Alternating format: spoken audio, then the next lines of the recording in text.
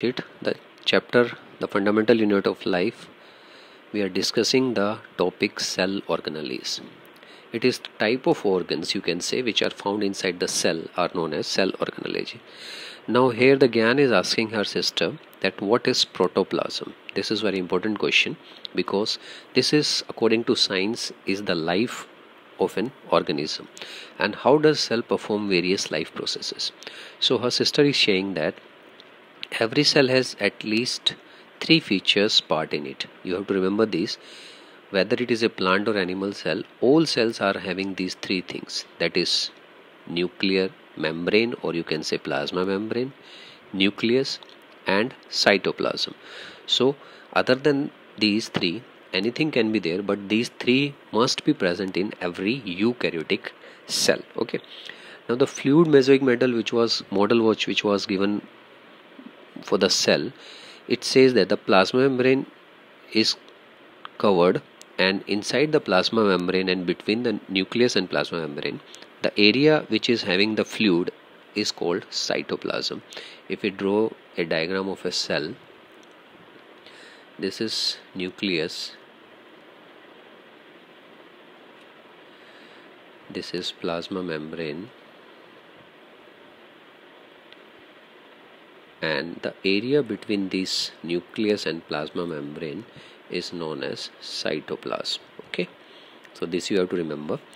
And apart from nucleus there are specialized very minute structures which are known as cell organelles so these cell organelles are actually present in this cytoplasm area okay? So this we have to discuss today. And the names of the different cell organelles which are found in eukaryotic cell are endoplasmic reticulum are two types Golgi apparatus lysosomes plastids vacuoles and mitochondria. Each cell organelle carries out very crucial and specific function in cell. Every cell organelle is having a definite function. So we have to see this. But first what is protoplasm? You have to remember that protoplasm is nucleus plus cytoplasm okay? So this is very important actually this is the living part as I told you. So cytoplasm nucleus and other organelles. But in some books you will find out cytoplasm and nucleus. Other organelles are not written because in that cytoplasm we cover all those organelles also. Now the next question is what are metabolic processes? Now metabolic processes here means two things we are going to discuss here metabolic process means catabolism and anabolism. Catabolism and anabolism are two things which means catabolism means a complex substance broken down to simpler substance. Anabolic means simpler substance is combined together to make different products. So this different types of chemical reactions are taking place in cell and in these chemical reaction either some substance is formed synthesized like a protein or broken like glucose. So the complete two processes is known as metabolic processes. That means the processes which are taking place in a organism for its survival are known as metabolic processes. And the term which is used is known as metabolism. Okay journal term which is used and this general term metabolism is combined part of these two. Now we are going to discuss two types of cell. You can see the picture of these two cells cell organelles in case of animal cell and in case of plant cell. First we'll talk the difference between the two. There are some basic difference. One is cell wall which is found only in case of plants.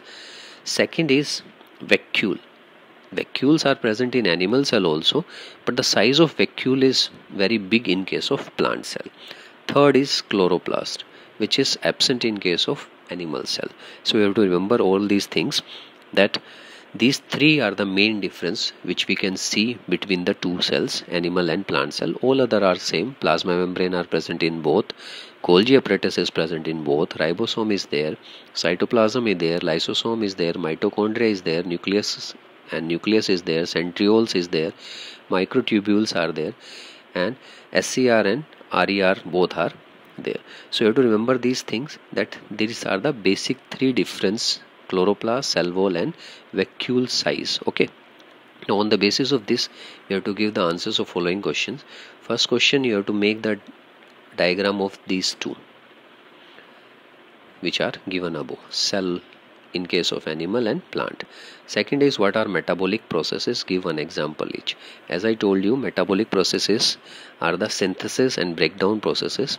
These are of two types you can write. One is catabolism another is anabolism. Catabolism is the breaking down like you can give the example of breaking down of glucose to obtain energy. Anabolism means means synthesize where the smaller units are combined to make a bigger unit you can say synthesis of protein okay next is differentiate between plant cell and animal cell. In that you can write these three points. Plant cell are having cell wall animal cell cell wall is absent. Chloroplast organelle is only found in case of plant cell. In animal cell it is also absent.